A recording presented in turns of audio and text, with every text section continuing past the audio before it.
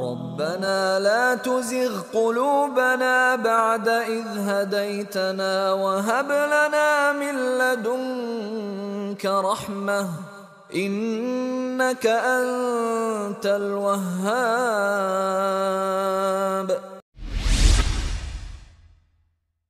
ربنا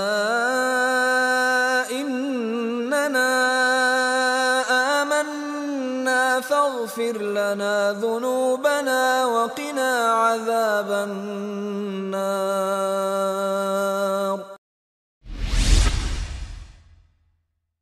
وإني أعيذها بك وذريتها من الشيطان الرجيم.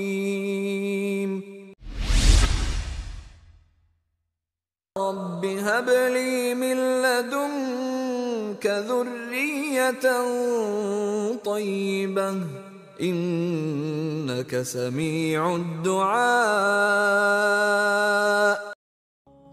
جمال